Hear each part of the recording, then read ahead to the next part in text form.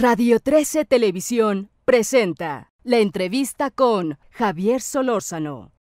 Entonces yo sí, en, esta, en este país, yo sí entiendo que con alcohol de por medio y los códigos que se tienen, hubiera acabado Sí. siendo un pleito de borrachos. A ver, ahora viene la parte que corresponde. En función, primero, que no, no, no pasemos por alto que el video que nos muestras es, es brutal.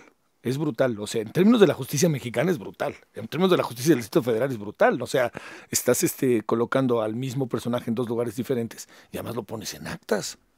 O sea, espérame, ¿no? Y además lo videograbas. O sea, esa, esa grabación es de la propia, la que, la que tienes es de la propia Barbar.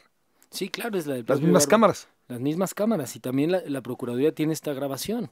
O sea, ellos, pero ¿cómo es posible que ellos, ellos, perdóname, no lo sabían? ¿No se dieron cuenta? ¿No sabían que tarde o temprano esto se iba a saber?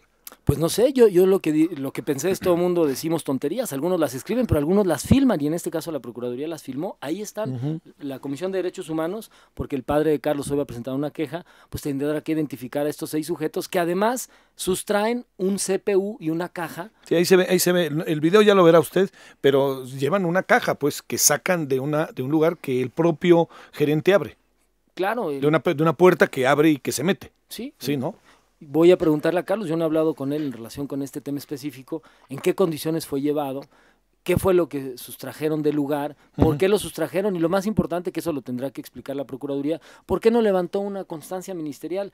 El principio de legalidad... O sea, ahí, perdón, ¿por qué no levantó un acta en- diciendo me estoy llevando el CPU? Lo que tiene que fedatar todo lo que se está llevando y la diligencia que está realizando y en las condiciones en las que está Carlos esposado, forzosamente debería estar en presencia eh, un defensor. Es que para mí lo más grave de todo esto, más que el tema mediático y lo que pasó eh, en relación con el señor Cabañas, es que ya sistemáticamente se hizo a un lado la Constitución y los derechos humanos, ya porque resulta muy incómodo tener que respetar las garantías, pero entonces se pervierte el sentido de la democracia y del Estado de Derecho. Y yo no entiendo cómo un gobierno de izquierda está haciendo el juego perverso que también está haciendo el gobierno federal, pero bueno, pues yo la derecha sí entiendo que lo haga, pero no la izquierda. Es un buen tema, Juan. A ver, déjame plantearte otra cosa ahí, Juan. A ver, el, ellos entran, eh, digamos, el, el bar queda cerrado a las, ¿qué? Seis de la mañana, seis y tantos, ¿no? Se, se cierra el bar de ese día, de ese famoso lunes en la madrugada. A ver, preguntas que todos nos hacemos. ¿Cómo entró el arma?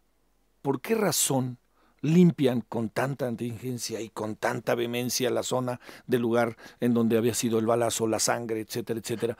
¿Cómo eso no, no ellos lo revisaron? Y otra cosa, déjame preguntarte la que ya te la había preguntado la semana pasada, pero ahorita me parece que adquiere relevancia. ¿Por qué el JJ no es revisado si es que no fue revisado? ¿No? Que ese es el asunto que platicábamos el otro día. Estos tres temas, Juan, a ver, empecemos. ¿El JJ fue revisado o no fue revisado al entrar? Enrique Fitch, un, un guardia de seguridad, lo afirmó desde el primer momento que declaró, lo reafirmó en una segunda declaración y ante la presencia judicial. Y bueno, con toda vehemencia me ha dicho, por supuesto que lo revisé, lo revisé en el primer punto de seguridad de los dos que existen en el bar bar. Muy bien. Y por radio comunicó, va limpio, por eso en las imágenes que vemos, que son del segundo punto, ya no es revisado. Sí. Pero lo ha afirmado vehementemente. Yo no tengo ningún elemento para... ¿Cómo para- entra el arma, Juan? Mi especulación, y eso aparece en un video que también mostramos nosotros, que fue descalificado, no sé por qué razón. O sea, no sé por qué razón la Procuraduría, mi, mi función es dudar de todo, yo esa es la función de un defensor, y la Procuraduría ahora tiene esa actitud perversa de no dudar de nada, y bueno, se va a equivocar. Mi, mi especulación es que el arma entró a las 5, 10 de la madrugada, y que quien introdujo el arma es el acompañante del JJ. Entonces, hay una imagen clarísima en la que un sujeto por más de 40 segundos le introduce algo en la cintura. Entonces es la única imagen objetiva que tenemos de un hecho que pueda sostener el- la introducción del arma. La especulación de la Procuraduría que el arma se introdujo a las 3 de la mañana a través de Alger Falcón es absolutamente insostenible. Ya nos dijo Edgar Luna, otro de los empleados de seguridad, que fue presionado por agentes de la Policía de Investigación en los separos de la Procuraduría en Álvaro Obregón, que lo presionaron y lo obligaron a hacer esa declaración para que no se fuera a la cárcel, cosa que también será parte de otra queja de derechos humanos y que me parece gravísima. Eh, tercer asunto, bueno, eh, le pusieron el arma. ¿Hay algún móvil por el cual el arma entra? O sea, meten el arma al barbar por algo en particular, se la dan al JJ, supones que había una especie de premeditación de algo que podía pasar, pensaron algo que podía pasar, o simplemente lo armaron y lo armaron y ya, porque lo acostumbran a hacer y porque ya me voy, tráete el arma. ¿Qué supones Digamos, que pasó? Yo, yo tenía desde el inicio la especulación de que había sido introducida con un fin específico. Sí, claro. La declaración de, del afanador de baños no me permite sostener esto. Sin embargo, yo he insistido mucho, y así lo vamos a hacer en el proceso judicial, que Cabañas y la esposa tienen mucho que decir, y bueno, y el acompañante, el, el concuño, tiene mucho que decir en relación con esto, ¿no? ¿Por qué? Pues porque ellos son los únicos que, que saben qué pasó en el fondo en la relación entre las dos mesas. Ninguno de los testigos da cuenta ni siquiera de un diálogo entre eh, Cabañas y el JJ. Entonces, esa vertiente la vamos a tratar de investigar en- a, a nivel judicial, porque a nivel de la Procuraduría no se pudo investigar. Digamos, algo que es fundamental en toda investigación eh, penal es el móvil. Y hasta aquí no tenemos más móvil que lo que yo dije, un la- pleito de borrachos. riña, una riña. de borrachos. Oye, a ver, entonces podríamos pensar, especulo, la posibilidad, la eventualidad de que el arma hubiera sido este, introducida en buena medida porque ya estaban calientes aquellos y eh, podía haber tarde que temprano una bronca entre ellos. Sí, por supuesto. Pues sí, el, el video muestra cómo Cabañas entra dos veces al baño y cómo inmediatamente que el, el sujeto recibe ese objeto en la cintura, ya se dirige directo al baño, ya no va a su mesa. Esta, este video ya no tiene solución de continuidad. Es un evento unitario. Sí, que sí, se puede analizar. Que, así se va. Bueno, ter- tercer asunto que te planteaba, Juan. Ya lo habías dicho, pero a ver, ¿por qué limpian ahora sí que la escena del, del, del, del atentado? Ese es un error gravísimo. Incluso cuando yo hablé con la familia, les dije, bueno, la premisa fundamental de, de que yo acepte la defensa es reconocer que eso es un grave error, un grave error del afanador y de la gente del barbar. ¿Qué sucede? Desde mi ¿Quién perspectiva, toma la decisión?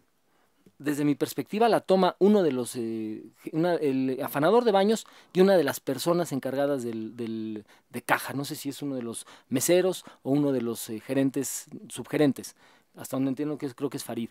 Pero el, el problema grave para mí es que quien ingresa inmediatamente al lugar es Secretaría de Seguridad Pública. ¿Por qué ellos no resguardan el lugar? Digamos, si la autoridad cuando está en el lugar a los tres minutos no toma medidas adecuadas, ¿No? A- Acordón el haber lugar mismo. acordonado y haber detenido Sí. a quien había que hubiese que eh, haber detenido, haber acordonado el área y haberse quedado en el interior. Y no, tratan el asunto como si hubiese sido un tema menor, se va a protección civil, se va a seguridad pública y después yo creo que en una afán de tapar el sol con un dedo, como si las cosas no hubieran pasado así, y bueno, la propia declaración de Carlos así lo señala, la señora Cabañas quiere hacer aparentar que esto se- sucedió fuera como hecho fortuito, porque el señor Cabañas estaba en una hora inconveniente, en la- el lugar inconveniente. La declaración de, de Carlos es esa, Sí, que la claro. señora quiere que el asunto sea visto que no pasó dentro sino fuera. Sí, claro. Y él también, en, en un afán de que no le cerraran el bar, pues acepta inmediatamente esa, esa solución, que es una estupidez por parte de los dos, en términos de querer tapar el sol con un dedo.